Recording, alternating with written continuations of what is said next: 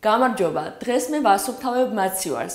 მაცივარი არის ისეთი ადგილი, რომელიც შეიძლება გარეგნულად გამოიყურებოდეს სუფთად, მაგრამ ჩვენ შეგვიძლია დავსვათ კითხვა: არის თუ არა ის სინამდვილეში სუფთა? თითოეულმა ჩვენთაგანმა იცის, რამდენად ხშირად ბინძურდება ის შიგნიდან. სხვადასხვა სახის წვენები, კონტეინერები, მურაბები ტოვებენ თავის კვალს. საბოლოო ჯამში ეს ყველაფერი ძალიან საშინელი შესახედია და იწვევს სიბინძურის შეგრძნებას.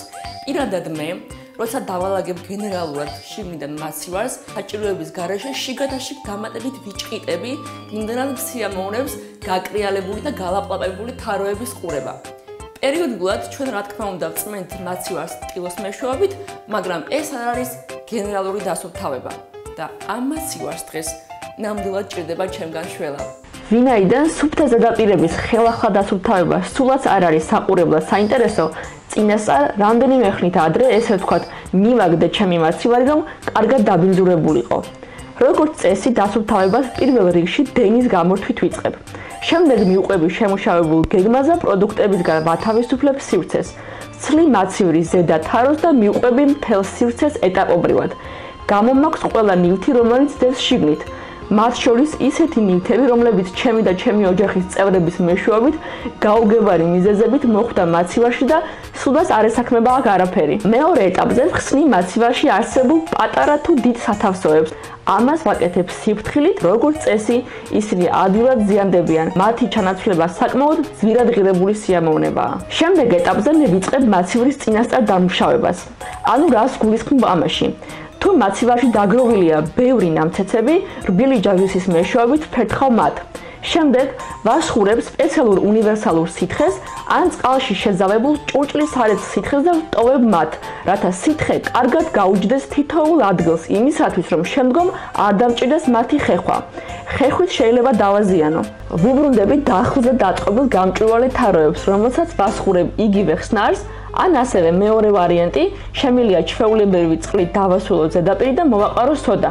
სოდას კარგად გამოყავს ჩამჯდარი ლაქები და აქრობს უსიამოვნო სუნს. შემდეგი ეტაპისთვის დამჭირდება კბილის ჟაგრესი, ღრუბელი და ნოტიო და მშრალი მიკროფიბრული ნაჭრები.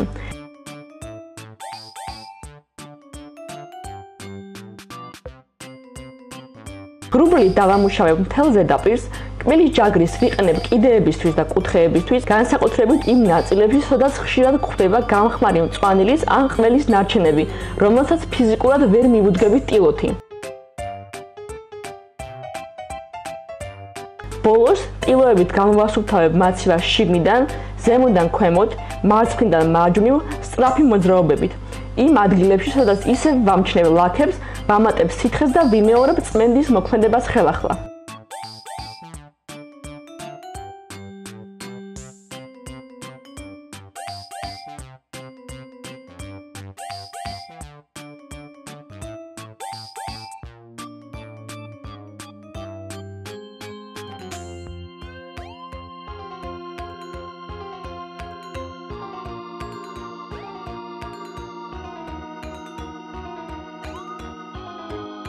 ცოტა მეტ ყურადღებას და დროს მოითხოვს პატარა უჯრები და სათავსოები, რომლებიც როგორც წესი მაცივრის კარებზეა მიმაგრებული, რადგან დროთა განმავლობაში მასში იყრება, ხმება და ისხმება სხვადასხვა პროდუქტები თუ სითხეები, მაგრამ აქაც დაგვეხმარება უნივერსალური სითხე, რომელიც მოაშორებს ყველა იმ ჩამჯდარ ჭუჭს, რაც თითქოს უხილავი იყო ყოველდღიური მოხმარების დროს, მაგრამ ბევრი ბაქტერია გროვდებოდა.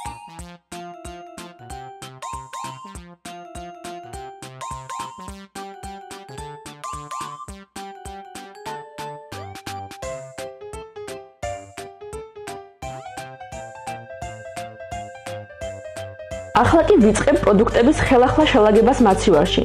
აუცილებლად ვიყენებ სუფთა მიკროფიბულ ტილოს, რომლითაც ვასუფთავებ თითოეულ ნივთს, განსაკუთრებით ვუსუფთავებ ძირს, იქნება ეს კონტეინერი, ბოთლი თუ საკარაქე. მაცივრის გენერალური დალაგება კარგი შესაძლებლობაა ყველაფრის დასახარისხებლად და თქვენი მარაგების გასაკონტროლებლად. მათ შორის გათავისუფლებით ვადაგასული ან გაფუჭებული პროდუქტებისგან. ახლა კი ბოლო ორი შტრიხი, რითიც ვასრულებ დასუფთავებას.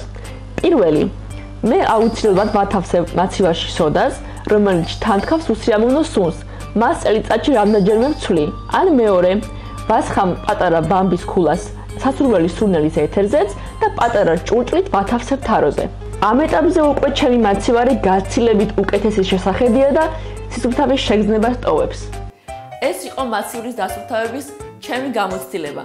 თუ თქვენთვის სასარგებლო და სასიამოვნო იყო ამ ვიდეოს ყურება, მოიწონეთ. ხოლო შემდეგი ვიდეოების სანახავად გამოიწერეთ ჩვენი არხი. ნახვამდის. შემდეგ დასუფთავებამდე.